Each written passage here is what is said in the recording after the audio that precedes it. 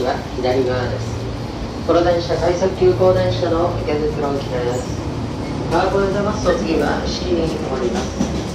瀬戸駅東上の方が次の先生出もない柳津川の岡部駅と JR 川越線ご利用のお客様お乗り換えください。